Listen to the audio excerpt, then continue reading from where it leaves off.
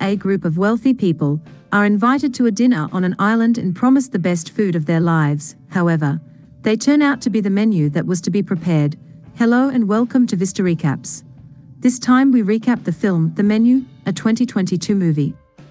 The film begins when Tyler is talking to Margot and convincing her to stop smoking because it is bad for her palate. But Margot is hesitant, claiming that doing so will make her palate happy instead. She does, however, stop smoking. Tyler then tells Margot that dinner that night will be delicious, featuring all of her favorite dishes. The boat arrives just in time, with other notable people on board. Other guests at the dinner include food critic Lillian Bloom, her editor Ted, wealthy regulars Richard and Leigh Brandt, washed up movie star George, and his personal assistant Felicity, and business partners Soren, Dave, and Bryce. The captain then reminds everyone on board to take their seats so that the journey can begin. To whet the appetite, the guests are served some food. Starters, the journey has finally begun. When they arrive, they are greeted by Elsa. Elsa then inquires about Tyler's companion. Margot approaches her and introduces herself. Elsa, the restaurant Hotel, gives the group a tour of the island, noting that Margot was not Tyler's designated guest for the evening. Elsa takes them on a tour of the island, where they can see the animals and plants that live there. She then takes them to the smoke house, where she reminds them that this is where the meat is stored and that they only use dairy meat. They are then led to the living quarters and shown the beds of the employees. Tyler notices a secluded building on their way to the dinner room and asks Elsa who lives there. Elsa informs him that he and his friends are not permitted to enter Chef's home. They then enter the dinner room, which is filled with the aroma of cooking food. After they have taken their seats, Elsa tells them that they are free to observe the cooks as they work, but they must not take photographs. Tyler requested that Murgata Company had to see something. However, the cook requests that he return to his seat. He is taken aback that the cook knows his name. The chef then arrives, and Tyler is uneasy about how the chef looks at him. The guests are busy conversing when the bell rings, signaling that the first course is ready. Chef Slowik begins dinner by introducing a series of courses, delivering increasingly unsettling monologues about each dish. He begs them not to eat or drink anything they are unfamiliar with. They should be cautious of what goes through their stomachs, because their menu is too valuable. They are then served the island, the first course. The chef continues to tell them that what happens inside is less important than what happens outside because the island and its nature are more important than them. Nonetheless, the meal continues, the second course, where the chef introduces them to all of their favorite vegetables and their well balanced oil.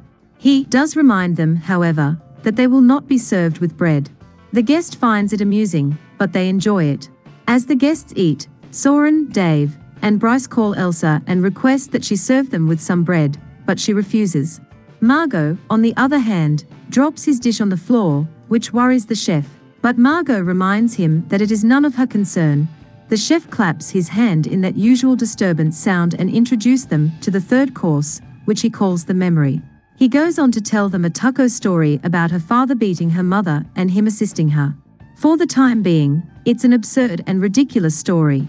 For the third course, laser printed images on tortillas reveal uncomfortable truths about each guest, ranging from affairs to embezzlement. Each guest's dark secret of bad past deeds is imprinted on his or her food. Some guests are bothered by secret photos of themselves. Soren, in particular, becomes enraged and summons Elsa to explain what the pictures mean. She informs them that these are their embezzlement secrets. Soren is insane and promises to punish them by selling the restaurant since he is co-owner. Margot walks to the restroom after becoming enraged by Tyler's sapping at her. The chef follows her to the restroom and asks her why she didn't enjoy the previous meal. He expresses his dissatisfaction. Elsa informs him that she was not simply hungry. He then asks her name and informs her that she is not supposed to be at the retreat. The chef then introduces the guests to the fourth course, which he refers to as the mess that Jeremy prepared. Instead of complimenting Jeremy on his dish, the chef says Jeremy has never been a good cook and that he will never be a pro like him. He asks Jeremy if he enjoys his life, but Jeremy says no. After that, Jeremy shoots himself in front of the guests, causing a panic. Despite the uproar, the cooks proceed to serve the dish. The chef instructs them to eat and enjoy themselves. One of the senior guests, Richard, becomes enraged and requests to leave, but the staff makes it clear that no one may leave by cutting off one of Richard's fingers. It's strange because people are terrified, but Tyler is preoccupied with his meal. Elsa then arrives to inform Margot that the chef would like to see her in the kitchen. He inquires as to her true identity. He reminds her that the dinner was meticulously planned and that she was not supposed to be there. The chef then asks Margot whether she wants to die with the givers, the cooks, or the takers, the guests. He reminds her that everyone will die that night. The guest then begins to plan their escape. However, when Soren tries to break the glass to escape, he discovers that it is impossible and that they are trapped. When the chef notices this, he serves them tea, claiming that it will calm them down. Slowik explains that each guest was invited because they either contributed to him losing his passion for his craft or make a living by exploiting artisans and workers like him and his team. He declares that everyone in the room will be dead by the end of the night.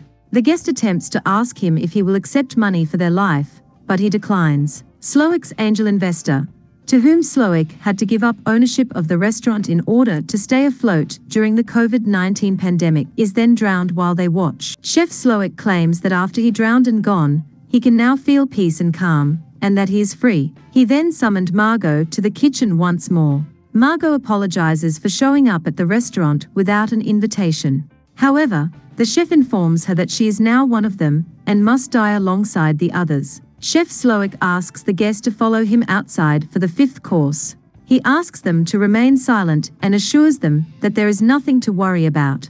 He then asks sous chef Catherine, who testifies about how the chef once attempted to rape her. She claims that the chef did not fire her and that Slowik is a star. Slowik then let himself be stabbed by the female cook Catherine he had sexually harassed. The chef then offers the male guests the opportunity to leave the island, but they only have 45 seconds to escape after which his cooks will catch them and kill them. Female guests are permitted to return and continue eating. The chef then dispatches the male cooks, who return the male guests, who were given the opportunity to flee. They then rejoin their respective teams. Chef Slowik then states that the menu cannot be continued until the unresolved matter is resolved.